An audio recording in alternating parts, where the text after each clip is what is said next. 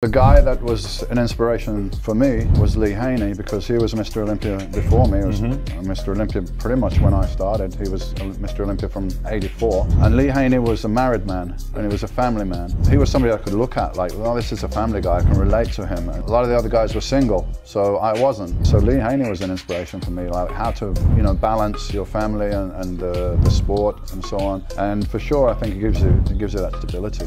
You're single and you've got all these distractions, parties, girls, and you know that pulls you out of your uh, training mode.